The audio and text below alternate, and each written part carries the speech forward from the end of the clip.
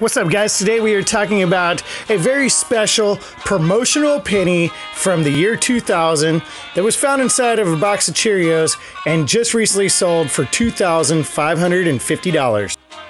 So, we're going to talk about the what, when, where, and how, what makes this penny so special. All right, so in the year 2000, the United States Mint donated 10 million of these pennies to General Mills to be able to put in boxes of Cheerios.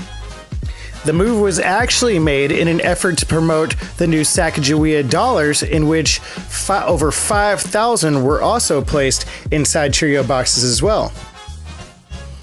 Now, Cheerio pennies outside of the original packing may be only worth just a penny. There's no way to tell the difference. A penny inside the packaging with certificate of authenticity is worth about five bucks. As with the rest of the Philly minted pennies from the year 1998 to 2000, there is also the chance of being able to find the proof die reverse, uh, in which you have the wide AM variety.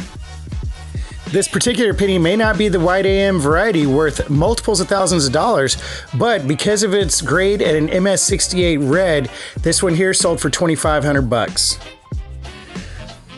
The sale of this coin also just really highlights the demand out there for the high grade modern coins.